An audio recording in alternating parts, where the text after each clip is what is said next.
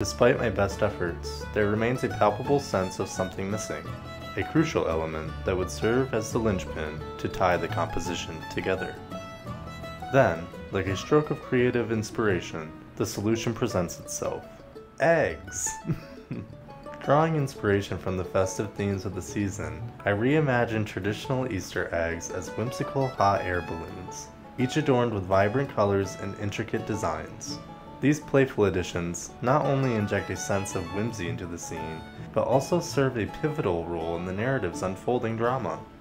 As the realization dawns upon me, it becomes evident that the chickie nestled within the basket was not merely dropped from above, but rather descended from one of these enchanting hot egg balloons as it passed over the idyllic campsite below.